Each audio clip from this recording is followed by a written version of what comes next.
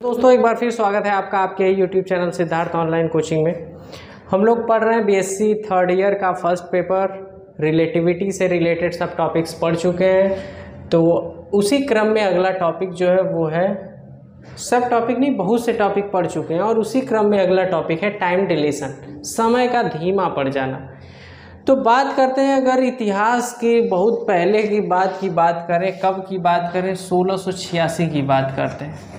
जब new Isaac Newton sir ने तीन नियम दिए तो तीन नियम जो दिए थे वो सामान्य गतियों के लिए तो बहुत फिट बैठे। जैसे जब हम डेली लाइफ में जो भी वर्क करते हैं, जो भी चीज़ें करते हैं, उस पर तो वो बहुत फिट बैठे। लेकिन 200 सालों के बाद, जब आइंस्टीन जी ने 1906 1906 में जब नई थियोरी दी रिलेटिविटी की तो रिलेटिविटी की थियोरी के बाद बहुत अचानक परिवर्तन आया, एक नई दुनिया खुली, पूरे फिजिक्स के वैज्ञानिकों के लिए भी, आम जनता के लिए भी, और भी लोगों के लिए, कि इन्होंने जब रिलेटिविटी से रिलेटेड नए नए थियरम दिए, जिसमें तीन बातें थी। पहला लेंथ कॉन्ट्रैक्शन जब कोई ऑब्जेक्ट बहुत हाई वेलोसिटी से मूव करता है तो उसके लेंथ में कमी का आभास होता है तो वो था लेंथ कॉन्ट्रैक्शन दूसरा है टाइम डिलेशन और तीसरा है मास वेरिएशन। तो मास भी बढ़ जाएगा जब कोई ऑब्जेक्ट हाई वेलोसिटी से मूव करेगा। फ़िलहाल आज के लेक्चर में हम लोग बात करेंगे टाइम डिलेशन से, कि कोई ऑब्जेक्ट जब हाई वेलोसिटी से मूव करता है approaches to velocity of C मतलब लाइट की वेलोसिटी के लगभग लगभग जब वो पहुँचने लगता है, उसके आसपास पहुँचने लगता है और उस स्पीड से वो गति करता है, उस वेलोसिटी से मूव करता है, तब हम देखते हैं कि उसमें टाइम जो है उसके लिए थोड़ा स्लो हो जाता है। इसी टॉपिक को हमें पढ़ना है, जिसे कहा गया है टाइम डिलेशन इसका मतलब ये है कि टाइम जो है वो एब्सोल्यूट नहीं है। टाइम एब्सोल्यूट नहीं है, जबकि ये रिलेटिव है। तो 1906 की क्या बात करें, इससे पहले सदियों पहले भगवान गौतम बुद्ध ने इस बात को बहुत ही, उन्हें दार्शनिक माने। दार्शनिक गौतम बुद्ध ने इस बात को बहुत पहले ही बता दिया था। ये भी रिलेटिविटी सही बात है। उन्होंने भी इसे रिलेटिविटी को समझा ही दिया था, लेकिन इन लोगों ने प्रूफ के आधार पे दिया न्यूमेरिकल्स वैल्यू पे दिया, आंकड़ों पे दिया और उन्होंने आसान छोटे मोटे शब्दों में समझा दिया कि अगर आप किसी अपने पसंदीदा व्यक्ति के साथ हों तो वो समय थोड़ा तेज़ गुजरता है। और जब आप किसी बोरिंग व्यक्ति के साथ हों, जिसे आप पसंद नहीं कर पा रहे हैं, उसकी बात को केवल झेलना है, जैसे बोरिंग लेक्चर्स को सुनना है तो आपको लगता है कि वो चालीस मिनट काहे नहीं बीत पा रहे हैं। बाकी अगर आप किसी पसंदीदा व्यक्ति के साथ हों तो वो 40 मिनट लगता है कि पाँच मिनट में ही व्यतीत हो गए। ये सब बात रिलेटिविटी की है।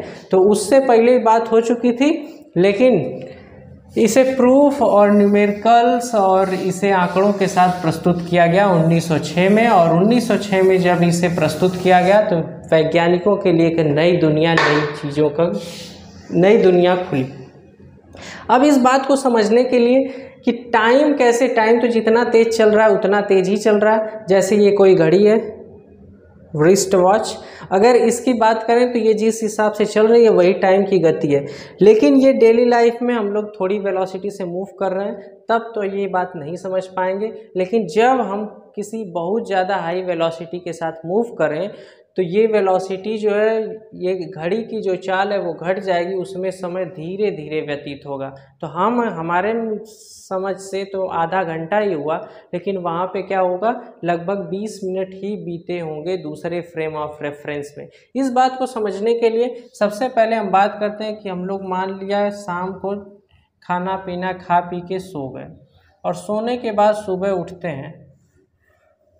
तो सुबह उठते हैं तो हम फ्रेम ऑफ़ रेफरेंसेस से मिलाते हैं। कभी कभी ये समझ में नहीं आता पूरब किधर है, पश्चिम किधर है। तो फ्रेम ऑफ़ रेफरेंसेस से मिलाते हैं कि अच्छा आई खिड़की तो खिड़की इधर है, खिड़की पूरब दिशा में थी तो फिर सब कुछ ऑटोमेटिक एडजस्ट हो जाता। है लेकिन अगर हम लोग किसी मार लिया गया व्हीकल में सो रहे हैं, इस किसी गाड़ी में सो लिया गया, और उसके बाद हम लोग सुबह उठें तो हमें ये पता नहीं चलेगा कि हम मूव कर रहे हैं। या फिर हम लोग रेस्ट की कंडीशन में अगर, क्योंकि इससे मिलाने के लिए हमें कुछ ना कुछ फ्रेम ऑफ़ रेफरेंस की ज़रूरत होगी, इस कार में तो नहीं सो पाएँगे। इसके लिए दूसरा एक व्हीकल बना रहे इस टाइप का वैन मान लिया गया इस टाइप की कोई गाड़ी है और इसमें शाम को खाना पीना खा पी के सोए। अगर इसकी खिड़कियाँ बंद हैं तो ये बात हमें जर्क या फिर एकदम स्मूथ अगर रोड पे ये चल रहा हो तो हमें समझ में ही नहीं आएगा कि ये हम मोशन में हैं, कि रेस्ट में हैं, क्या हो रहा है, कोई पता नहीं। अब उसके बाद अगर यहाँ से खिड़कियों को ओपन कर दिया जाए, खिड़कियाँ अगर खोल दें तो हम लोग देखते हैं कि पीछे के पेड़ जो हैं, जो सड़क के किनारों के पेड़ हैं, वो भागते हुए दिखाई देते हैं, भागते हुए दिखाई देते हैं पीछे की ओर।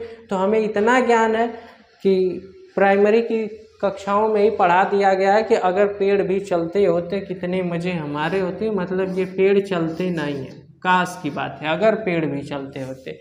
तो ये पेड़ चलते नहीं, ये बात हम बचपन से देख रहे हैं, जान रहे हैं। तो पूर्व ज्ञान के आधार पे ये अंदाज़ा लगाते हैं कि इधर का जो इसके पीछे का ये पेड़ है, वो चल नहीं रहा। अब पेड़ अगर नहीं चल रहा है तो मतलब हमारी कार, हमारा वैन ही चल रहा है और आगे की ओर हम मूव कर रहे हैं। पेड़ पीछे की ओर जा रहे हैं। तो फिर हम अंदाज़ा लगा लेते हैं कि ये पेड़, सड़क, किनारे के घर जो पीछे की ओर भाग रहे हैं मतलब हमारा व्हीकल आगे की ओर चल रहा है। तो इसे समझने के लिए हमें ज़रूरत पड़ी एक फ्रेम ऑफ़ रेफरेंस की। अगर ये फ्रेम ऑफ़ रेफरेंस नहीं होता तो हमें ये बात नहीं समझ में आती। जैसे कभी कभी होता है कि दो ट्रेन पटरी पे खड़ी हैं, एक ट्रेन इस साइड में और दूसरी इस साइड में, और हम लेटे हुए हैं उस सीट पे और केवल इस वाली ट्रेन को देख रहे हैं। अगर अपनी भी ट्रेन चलती है तो समझ में नहीं आता कि अपनी चली या ये चली। हमें आभास होता है कि ये ट्रेन चल रही है। या फिर अगर अपनी ट्रेन भी चल रही होती है और हम अगर इधर देख रहे हो तो हमें लगता है कि ये वाली ट्रेन चल रही है। अगर ये ट्रेन इधर चल, हम इधर जा रहे हैं तो हमें ये प्रतीत होगा कि ये वाली जो रुकी हुई ट्रेन है, ये इधर की ओर मूव कर रही है। अगर हम इधर से घूम के प्लेटफॉर्म की तरफ़ देख लें, तब समझ में आता है कि प्लेटफॉर्म रुका हुआ है, अर्थात हमारी ट्रेन चल रही है। तो फिर उसके बाद ये समझ में आ जाता है कि हम लोग ही चल रहे हैं। अगर प्लेटफॉर्म की ओर न देखा जाए तो ये समझ में नहीं आता कि ये वाली ट्रेन चल रही है या फिर ये वाली ट्रेन चल रही है। जब ये ट्रेन इधर से गुजर जाती, जब इसके लिए कुछ रुकी हुई चीज़, फ्रेम ऑफ़ रेफरेंस मिलता है, तब समझ में आता है कि अच्छा ये ट्रेन तो इधर जा रही थी। तो मतलब सब कुछ के लिए क्या है? एक फ्रेम ऑफ़ रेफरेंस की ज़रूरत है। तो रिलेटिविटी यही है, सापेक्षता है, दोनों को एक दूसरे के सापेक्ष मिला के तब हम बातों को समझ पा रहे हैं। और यही आज हमें टाइम डिलीशन के लिए भी समझना है, पढ़ना है कि टाइम में क्या वेरी हो रहा है, किस प्रकार से चेंज हो रहा है। तो यहाँ पर भी अगर बात करें, कोई ऑब्जेक्ट मान लिया गया ऑब्जेक्ट की क्या बात करें ऑब्जेक्ट में रॉकेट ही रहेगा। तो ये कोई रॉकेट है।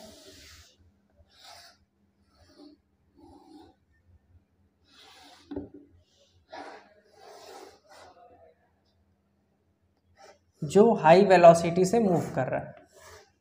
हाई वेलोसिटी से अगर ये मूव कर रहा है तो अब अगर इसमें कोई व्यक्ति बैठा हुआ है, इस रॉकेट में अगर कोई व्यक्ति है, और यहाँ अर्थ पे भी कोई इसे ऑब्ज़र्व करने वाला यहाँ पे एक व्यक्ति हो गया तो इन दोनों के हिसाब से हम टाइम को कैलकुलेट करें तो टाइम जो है यहाँ पर जो है वो स्लो चलेगा फ्रेम इस फ्रेम ऑफ़ रेफरेंस में टाइम स्लो चलेगा टाइम धीमा हो जाएगा। इसी को हमें पढ़ना है टाइम डिलेशन और ये ऐसा क्यों होगा? क्योंकि आइंस्टीन ने दो पॉस्टुलेट्स दिए थे। पहला कि सभी जो लॉ हैं, सभी फ्रेम ऑफ़ रेफरेंस में एक तरफ़ बिहेव करते हैं। और दूसरा लॉ जो दिया था कि स्पीड ऑफ़ लाइट सभी इनर्शियल फ्रेम ऑफ़ रेफरेंसेस में सेम होती है। इन दोनों लॉ के आधार पे अगर ये नहीं पढ़े हैं तो स्पेशल थियरी ऑफ़ रिलेटिविटी के लिए आइंस्टीन टू पॉस्टुलेट्स का वीडियो है, आप वहाँ उसे जाके देखें, समझें। तो यहाँ पे भी क्या हो रहा है? अगर किसी भी चीज़ को फेंका जाए इस प्रकार से तो ये जाएगा। और लाइट ही को अगर भेजा जाए लाइट को तो यहाँ से लाइट अगर लाइट क्लॉक से ये ट्रांसफ़र किया गया लाइट ऊपर से रिफ्लेक्ट होकर नीचे की ओर आ रही है। तो कुछ ना कुछ इसमें टाइम लगेगा। लेकिन जब ये माइकलसन मोले एक्सपेरिमेंट में जिस प्रकार से हम लोग पढ़े, ये टाइम क्लॉक यहाँ लगा दिया गया, मान लिया गया, लेकिन ये बहुत हाई वेलोसिटी से जा रहा है तो पूरा मूवमेंट आगे की ओर हो रहा है तो ये सीधे जाके ऐसे टकरा के आएगा तो है नहीं, क्योंकि जब इसे ट्रांसमिट करेंगे, जब यहाँ से ये एमिट होगा तो जाते जाते ये आगे की ओर ही बढ़ रहा है तो इसका मोशन इस प्रकार होगा। और फिर ये आएगा, तब तक ये वाला यहाँ पहुँच चुका होगा, ये यहाँ पहुँचेगा। तो इसे अगर कैलकुलेट किया जाए तो ये क्या होगा? टाइम की वैल्यू यहाँ पे, अब ये कहा गया कि टाइम की जो स्पीड ऑफ़ लाइट जो है, वो हर जगह एक बराबर है तो स्पीड ऑफ़ लाइट की एक बराबर है। इसे ज़्यादा डिस्टेंस ट्रैवल करना पड़ रहा है। उस वजह से यहाँ क्या प्रतीत होगा कि टाइम की वैल्यू कम हो गई। और यहाँ से देखने पर यहाँ लगेगा, यहाँ से देखने पे जितना टाइम होगा, उसके कंपैरिजन में इस जगह पे टाइम की वैल्यू कम हो जाएगी। अगर इसे प्रूफ से देखें तो ये ये लाइट ही है और लाइट की स्पीड होती है। मान लिया गया यहाँ से देखा जा रहा है तो दोनों फ्रेम ऑफ़ रेफरेंस में टाइम अगर टी लग रहा है तो यहाँ से यहाँ तक जाने के लिए इसके द्वारा ट्रेवल डिस्टेंस अगर फाइंड करें तो ये लाइट जा रही है लाइट टी टाइम में पहुँच रही है तो ये डिस्टेंस हो जाएगा। Distance is equal to velocity into time ये हो गया सी टी और जब ये पूरा का पूरा ये रॉकेट या पूरा इसे अपरेटस की तरह अगर ट्रीट करें तो ये पूरा आगे की ओर फॉरवर्ड डायरेक्शन में इधर की ओर मूव कर रहा है और इसकी वेलोसिटी अगर v है तो यहाँ से यहाँ तक के लिए मान लिया गया टी टाइम में यही यहाँ से यहाँ तक ये चला, ये हो गया वी टी अब इसमें जो काउंट हो रहा है इसमें की जो चीज़ है इसे अगर फाइंड करें तो इसे कैलकुलेट करने के लिए ये अब जो व्यक्ति इसमें, जो व्यक्ति इस रॉकेट में बैठा है, वो अगर देखेगा तो लाइट उसे क्या लगेगी? लाइट ऐसे जा रही है, टकरा के वापस आ रही है। तो उसके लिए अगर टाइम को टी नॉट कंसिडर करें तो उसके लिए डिस्टेंस हो जाएगी सी टी नॉट ये हो जाएगा सी टी नॉट तो अब उसके बाद ये सी टी हो गया, ये वी टी हो गया, ये हो गया सी टी नॉट ये सी, टी नॉट टाइम है। इस फ्रेम ऑफ़ रेफरेंस के लिए रॉकेट के अंदर जो व्यक्ति बैठा, उसके लिए टाइम है। और ये सी टी हो गया, यहाँ से टाइम हो गया, जो व्यक्ति दूसरा ऑब्जर्वर तो अगर इसमें देखा जाए तो ये एक राइट एंगल ट्रायंगल बन रहा है। राइट एंगल ट्रायंगल में क्या होता है? क्या होता है कि हाइपोटेनस का square is equal to base का स्क्वायर प्लस परपेंडिकुलर का स्क्वायर अगर इसे सॉल्व करें तो सी टी का square is equal to base का स्क्वायर वी टी का स्क्वायर इज़ इक्वल टू यहाँ से सी टी नॉट का स्क्वायर सबका स्क्वायर कर सॉरी तो ये hypotenuse square is equal to base square plus perpendicular square further solve करें, ये हो गया C square T square is equal to V square T square plus C square T naught square T naught square के लिए अगर calculate करना हो तो इस पूरे टर्म को इधर भेज दिए। ये इधर टर्म आएगा तो ये हो गया माइनस इधर आके और ये हो गया इज़ इक्वल टू इधर आ गया, इधर से क्या कॉमन मिल रहा है? हमें कॉमन मिल रहा है T square T square common ले लिया गया। ये हो गया इस प्रकार से। टी स्क्वायर की अगर वैल्यू फाइंड करें तो T square is equal to हो जाएगा। सॉरी तो ये पूरा का पूरा अगर लिखें तो टी स्क्वायर चलिए, यहाँ तक कॉमन ले लिया गया। सी स्क्वायर को भी कॉमन ले लें तो ये हो जाएगा टी स्क्वायर सी स्क्वायर या सी स्क्वायर टी स्क्वायर यहाँ से बचा वन अब जब दो कॉमन लेना ही है तो फिर से पूरा का पूरा लिख रहे हैं। ये हो गया C square T square is equal to V square T square plus C square T naught square इस टर्म को अगर इधर लाएँ, ये हो गया C square T square minus V square T square is equal to C square T naught square यहाँ से अगर कॉमन ले सी स्क्वायर टी स्क्वायर तो यहाँ से बचा one minus V square upon, यहाँ से तो टी स्क्वायर तो कॉमन मिल गया, लेकिन सी स्क्वायर इसमें है ही नहीं। सी स्क्वायर नहीं है मतलब अपॉन में सी स्क्वायर आ गया, ये हो गया इधर C square, T naught square. C square से सी स्क्वायर कैंसिल हुआ, टी स्क्वायर की वैल्यू हमें मिल जाएगी। T square is equal to हो जाएगा T naught square upon upon ये वाला टर्म इधर अपॉन में आ गया, one minus V square upon C square. अब अगर टी की वैल्यू चाहिए तो इधर ये अंडर रूट हो जाएगा टी इज़ इक्वल टू इसका स्क्वायर रूट हो गया टी नॉट बाई ये हो गया under root one minus B square upon C square इसकी वैल्यू होती है वन से कम, अब वन से कम वैल्यू से अगर डिवाइड करें तो ये वैल्यू बढ़ जाएगी मतलब क्या हुआ टाइम जो है वो डिले हो गया. लेकिन ये जो प्रोसेस था, इससे हमें नहीं करना है. हमें करना है लॉरेंस ट्रांसफॉर्मेशन इक्वेशन से, क्योंकि इतनी मेहनत से इसीलिए इसे पढ़ाया गया है और इसे रखा गया है, ताकि हम लोग क्या करें लॉरेंस ट्रांसफॉर्मेशन से टाइम रिलेशन की वैल्यू फाइंड करें तो थर्ड पेपर इसमें थर्ड ईयर में हमें जो प्रूफ ये करना है, वो करना है लॉरेंस ट्रांसफॉर्मेशन इक्वेशन या लॉरेंट इन्वर्स ट्रांसफॉर्मेशन इक्वेशन से। तो टाइम के बारे में बात करें तो अगर कोई ऑब्जेक्ट बहुत हाई वेलोसिटी से मूव कर रहा है तो उसमें के क्या होता है अपरेंट टाइम में ऐसा लगता है कि उसके टाइम में कुछ कमी आ गई, उसका टाइम जो है दूसरे फ्रेम ऑफ़ रेफरेंस से देखने से बढ़ जा रहा है और जो ओरिजिनल टाइम है वो घट जा रहा है। मतलब इस सिप में क्या होगा कि टाइम की वैल्यू घट जाएगी और जो व्यक्ति ज़मीन पे बैठ के या ऑब्ज़र्व कर रहा है दूर से देख के, उसे वो समय ज़्यादा लगेगा। मतलब वहाँ पे तो घड़ी सामान्य चल रही है, लेकिन जब कोई ऑब्जेक्ट बहुत ज़्यादा वेलोसिटी से मूव करेगा तो उसमें टाइम के लिए क्या होगा? टाइम की वैल्यू घट जाएगी। मतलब टाइम कुछ डिले हो जाएगा लेट चलने लगेगा। तो देखते हैं इसका प्रूफ मतलब इसका पूरा थियरम कि इसके लिए फॉर्मूला कैसे फाइंड करेंगे? तो दो फ्रेम ऑफ़ रेफरेंस बना ले रहे हैं। एक फ्रेम ऑफ़ रेफरेंस हो गया एस और दूसरा फ्रेम ऑफ़ रेफरेंस हो गया एस डैश तो एक फ्रेम हो गया एस और दूसरा फ्रेम ऑफ़ रेफरेंस हो गया एस डैश शुरुआत की अगर बात करें तो दोनों का जो ओरिजिन है ओ और O dash first frame of reference अगर ऐसे है तो इसके कोऑर्डिनेट्स बना लिए गए, इसके एक्सिस हो गया X axis Y axis Z और दूसरा frame of reference X dash के लिए, इसके लिए हो जाएगा X dash Y dash Z dash तो हमें टाइम डिलेशन का प्रूफ करना है। ये बात हम समझ चुके हैं कि टाइम इंटरवल जो है एब्सोल्यूट नहीं है, बल्कि क्या है ये? ये प्रभावित होता है रिलेटिव मोशन से। ये सब बात समझ भी गए लाइन लिख भी लिए। अब कंसीडर करते हैं। Consider two frame of references S and S dash दो फ्रेम ऑफ़ रेफरेंस हो गए। ये हो गया फ्रेम ऑफ़ रेफरेंस एस जो कि रेस्ट में। है और दूसरा फ्रेम ऑफ़ रेफरेंस हो गया इधर पे, ये हो गया एस डैश जो कि मोशन में। ये था एस और दूसरा हो गया एस डैश ये मोशन में इधर की ओर मूव कर रहा है वी वेलोसिटी से। तो टाइम क्लॉक की बात करें टाइम क्लॉक एक प्लेस कर दिया गया, एक टाइम क्लॉक प्लेस कर दिया गया, दोनों के लिए हमें रिलेटिव मोशन फाइंड करना तो एक रिलेटिव मोशन के अकॉर्डिंग हमें टाइम डिलेशन फाइंड करना है। तो एक हेडिंग की बात करें तो जिसे का नाम है प्रॉपर टाइम इंटरवल एक पॉइंट की बात करते हैं, लिख लिए, ये proper time interval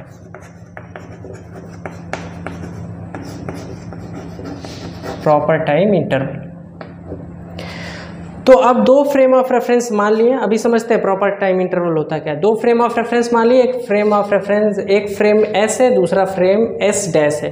दोनों T is equal to T dash पे, दोनों को एक दूसरे के साथ कोइंसाइड कर रहे थे, दोनों का ओरिजिन एक ही पॉइंट पे लाई कर रहा था ओ और ओ डैश दोनों एक ही बिंदु पे थे, ये शिफ्ट करके आ गया। लेकिन टाइम के साथ साथ ये जब कॉन्स्टेंट वेलोसिटी वी से मतलब जो जो की अप्रोच कर रही है वेलोसिटी ऑफ़ लाइट सी उसके आसपास लाइट से अगर ये आगे की ओर मूव करना शुरू हुआ तो दोनों में हम टाइम इंटरवल को कैलकुलेट करते हैं। तो टाइम इंटरवल दो टिक्स कैलकुलेट करेंगे, एक वॉच प्लेस कर दिया गया, और दोनों के लिए एक प्रॉपर टाइम के बाद दो टिक्स दो पल, दो छड़ों के बीच का टाइम कैलकुलेट किया जाएगा।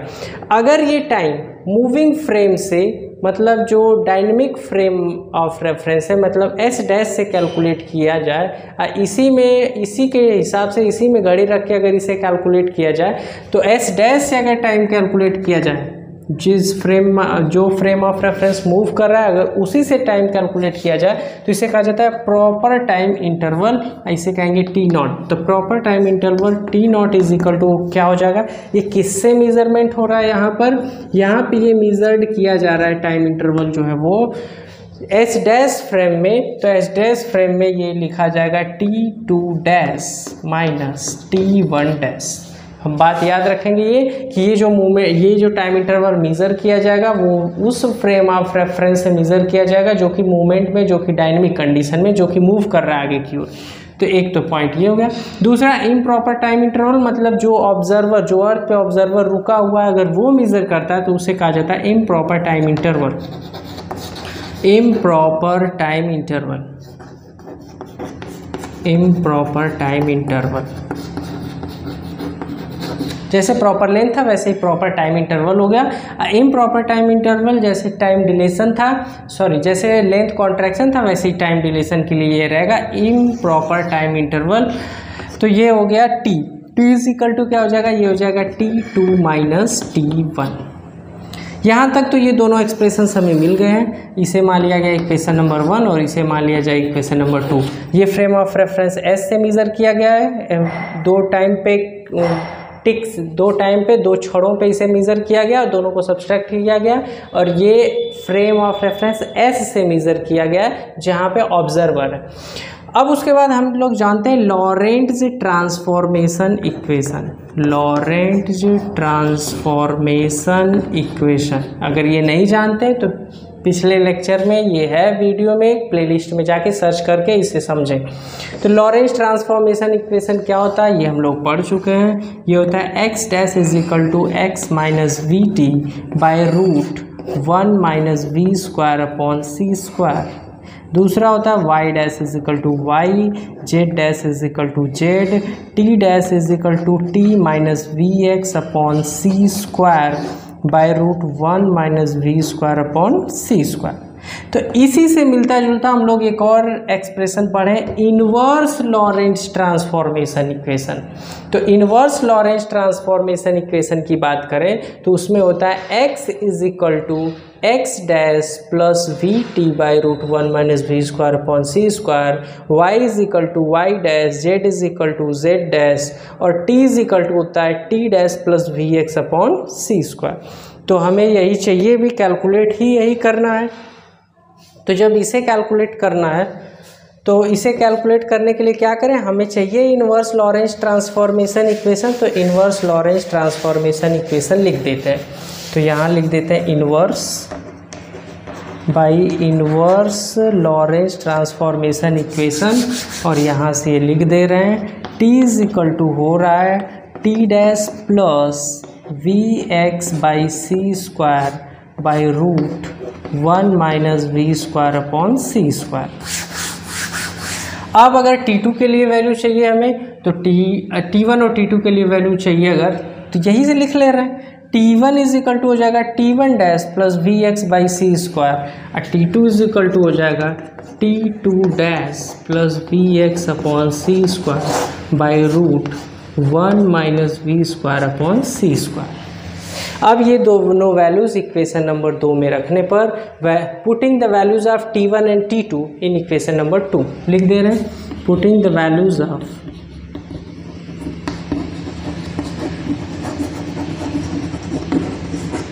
T one and T two in equation two तो इक्वेशन सेकेंड में रखने पे टी इज़ इक्वल टू हो जाएगा टी इज़ इक्वल टू हो जाएगा टी टू टी टू की वैल्यू यहाँ है। क्या है टी टू की वैल्यू ये है T two dash plus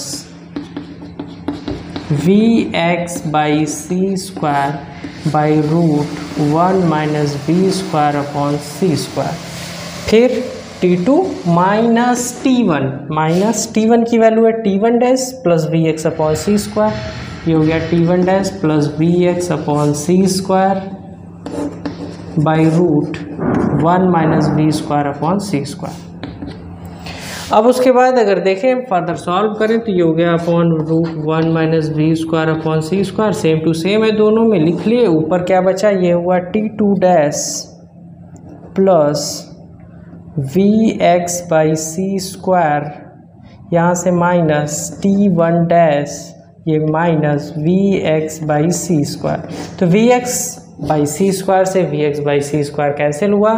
ये बचा क्या? ये बचा t two dash minus t one dash by root one minus v square upon c square और t two dash minus t one dash की वैल्यू हम जान रहे हैं, क्या वैल्यू है t two dash minus t one dash की? ये वैल्यू है टी नॉट तो ये इसकी जगह क्या लिखा जा सकता है? टी नॉट टी नॉट अगर रखें तो टी की वैल्यू क्या हो जाएगी? ये टी इज़ इक्वल टू हो जाएगा t naught by root one minus v square upon c square और one minus v square upon c square की बात करें तो ये है वी की वैल्यू। वी की वैल्यू स्पीड ऑफ़ लाइट से कम ही रहेगी। ये वैल्यू कम और ये वैल्यू ज़्यादा डिवाइड करें, ये वैल्यू होगी कम, एक से कम, एक से कम। एक में से एक से कम अगर वैल्यू घटाएँ तो थोड़ा सा कुछ बचेगा। कुछ बचेगा जिसका स्क्वायर रूट अगर फाइंड करें तो वो वैल्यू आएगी पॉइंट में। अब पॉइंट की वैल्यू से अगर इसे डिवाइड करते हैं तो ये वैल्यू बढ़ जाएगी। तो ये वैल्यू बढ़ जाएगी। इसी को कहा गया है टाइम डिलेशन। इसके लिए पूरा इरेज करके देखते हैं इसमें तीन केसेस तो टाइम डिलेशन का फॉर्मूला हमें मिल गया. T is equal to t naught by root one minus v square upon c square देखते हैं इसके आगे. तो टाइम डिलेशन का फॉर्मूला हमें मिल गया. T is equal to t naught by root one minus v square upon c square देखते हैं इसका first case case one case one में देख रहे हैं अगर वेलोसिटी जो है, जो ये मान लिया गया जो मूविंग क्लॉक है, इसी में क्लॉक है. ये मान लिया गया कोई रॉकेट है. इस प्रकार से ये रॉकेट हो गया। और इसी में क्लॉक जो है वो मूव कर रही है। तो अगर इसमें क्लॉक रखी हुई है और ये मूव कर रहा है, अगर इसकी वेलोसिटी कम है velocity v is very very less then c अगर वेलोसिटी बहुत कम है, जो ऑब्जेक्ट मूव कर रहा है, उसकी वेलोसिटी बहुत कम है तो क्या होगा? V बाई सी की value tends to zero negligible होगी। अगर ये वैल्यू इसमें प्लेस करते हैं तो हो जाएगा t is equal to t naught by root one minus v by c का स्क्वायर वी बाई सी का होल स्क्वायर अब वी बाई सी की वैल्यू यहाँ पे क्या आ गई टेंस टू ज़ीरो बहुत कम वेलोसिटी अगर प्रकाश की चाल के यहाँ पे देखा जाए तो प्रकाश की चाल बहुत ज़्यादा और वी की वैल्यू बहुत कम, इसकी लाख है। इसकी जो चाल है वो तीन लाख किलोमीटर प्रति सेकेंड मतलब three two ten to the power eight metre पर सेकेंड ये ऑब्जेक्ट मान लिया गया चल रहा है 180 की स्पीड से 200 की स्पीड से 500 की स्पीड से तो वो भी इसके तुलना में बहुत कम ही वेलोसिटी है। 500 किलोमीटर प्रति घंटा है वो। तो वो क्या हुआ? बहुत कम वेलोसिटी है। तो इसके लिए क्या होगा? V by c tends to zero अब वी बाई सी की वैल्यू ज़ीरो हो गई तो ये वन माइनस ज़ीरो मतलब ये वन और वन का अंडर रूट वन तो टी इज़ इक्वल टू क्या होगा? टी नॉट मतलब इसमें जो वॉच है, जो घड़ी है, वो क्या होगी? वो सेम टू सेम वही टाइम मेज़र करेगी जो ऑब्जर्वर की घड़ी मेज़र कर रही है। अर्थात ये होगा कि दोनों घड़ियाँ लगभग सेम टू सेम चलेंगी। कोई टाइम डिलेशन इसमें नहीं है, जो कि डेली लाइफ में होता है। ऑब्जेक्ट्स हमारे कम वेलोसिटी से मूव करते हैं और हम, हमें कोई टाइम इंटरवल समझ में ऐसे नहीं आता दूसरे केस की बात करते हैं। केस टू केस टू की बात करते हैं जब v is nearly equal to c v is nearly equal to c तो पूरा पूरा इक्वल नहीं है, इसके लगभग लगभग बराबर है। तो लगभग लगभग बराबर है जैसे स्पीड ऑफ़ लाइट है three into ten to the power eight तो ये हो जाएगा one point five into ten to the power eight इतना ये तो इसकी वैल्यू लगभग लगभग इसके बराबर है, लेकिन कुछ ना कुछ वैल्यू है। कुछ ना कुछ वैल्यू है वन में से कुछ को घटाएँगे तो कुछ बचेगा, उसका अंडर रूट फाइंड करें तो कुछ वैल्यू बचेगी। वन से कम ही बचेगी। और वन से कम चीज़ से अगर इसे डिवाइड किया जाए टी नॉट से तो टी की वैल्यू बढ़ जाएगी। जैसे यहाँ पे हो जाए टी नॉट की वैल्यू मान लिया गया पाँच है। टी नॉट की वैल्यू मान लिया गया दस t naught is equal to ten. इसकी वैल्यू वन से कम आई है तो देखें तो टी इज़ इक्वल टू हो जाएगा टी नॉट मतलब दस बटे अगर इसे क्या करें, एक से कम आया है, मान लिया गया zero point five, zero point six, zero point seven, zero point eight ही मान लिया जाए, ज़ीरो पॉइंट एट है। डिवाइड करें अगर इससे टेन का ऊपर नीचे मल्टीप्लाई कर दें, ये हो गया टेन टेन, ये हो गया हंड्रेड बाई एट। मतलब ये डिवाइड हो गया, ये फोर से डिवाइड हो जाएगा ट्वेंटी फाइव बाई टू मतलब ये हो गया ट्वेल्व पॉइंट फाइव तो ये क्या हुआ? ये जो टाइम कम वैल्यू से डिवाइड करेंगे तो उसकी वैल्यू बढ़ना तय है तो क्या होगा? टाइम की वैल्यू यहाँ पर बढ़ गई तो यहाँ पे क्या हो जाएगा? T is greater than t naught मतलब क्या होगा कि जो घड़ी जो मूव कर रही है frame of reference s dash के साथ उसके कंपैरिजन में जो ऑब्जर्वर है, उसका टाइम बढ़ जाएगा टाइम डिले हो जाएगा, इसे ज़्यादा टाइम समझ में आएगा और इसके तुलना इसे टाइम कम समझ में आएगा। अगर इस पर आधे घंटा बीतेगा तो इस फ्रेम ऑफ़ रेफरेंस में मूविंग फ्रेम ऑफ़ रेफरेंस में लगभग 20 मिनट ही बीतेगा। और तीसरा केस जो, तीसरे केस की बात करते हैं if v is equal to c एकदम वेलोसिटी ऑफ़ रॉकेट या फिर कोई भी स्पेसशिप, उसकी वेलोसिटी अगर स्पीड ऑफ़ लाइट के बराबर हो गई तब देखते हैं इस इक्वेशन का क्या हस्र होता है। ये हो गया t is equal to t naught by root one minus ये है वी स्क्वायर तो वी की वैल्यू सी के बराबर है। ये हो गया c square by c square c square by c square cut गया। ये हो गया वन अब वन में से वन घटाएँ तो ये हो जाएगा ज़ीरो। मतलब टी इज़ इक्वल टू हो जाएगा इनफाइनाइट मतलब टी नॉट की value t naught is equal to हो जाएगा ज़ीरो। ये घड़ी रुक जाएगी, जो फ्रेम ऑफ़ रेफ ये जो मूविंग फ्रेम ऑफ़ रेफरेंस में मतलब स्पेसशिप में जो वॉच मूव कर रही है, वो एकदम से रुक जाएगी। यहाँ पे टाइम बढ़ेगा ही नहीं। अगर स्पीड ऑफ़ लाइट से कोई व्यक्ति ट्रैवल करता है और किसी रॉकेट से तो वो कभी बूढ़ा ही नहीं होगा। उसके लिए समय रुक जाएगा, जो ऐसा था वो वैसा ही वापस आएगा, चाहे जितने दिनों बाद वापस लौट के धरती पर आए। बसरते बसर्त ये कि उसे उड़ना चाहिए किस स्पीड से? With the speed of light तो जो कि संभव है नहीं। तो इसके न्यूमेरिकल्स के साथ मिलते हैं दोस्तों अगले वीडियो में। Thanks for watching